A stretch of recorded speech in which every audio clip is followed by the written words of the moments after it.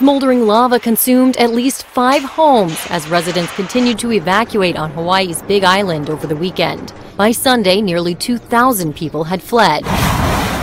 A new fissure spewed lava up to 230 feet in the air, and new cracks opened on a highway in the Leilani Estates area, about a dozen miles from Kilauea volcano, which erupted Thursday.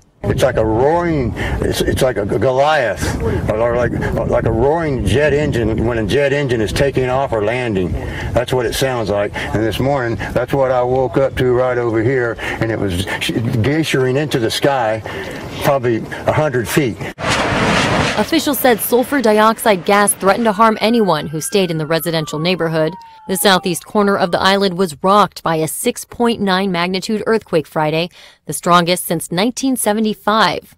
More earthquakes and eruptions are forecast perhaps for months to come. The lava erupted in a small rural area. No injuries or deaths have been reported, and officials say the main tourist areas have not been impacted.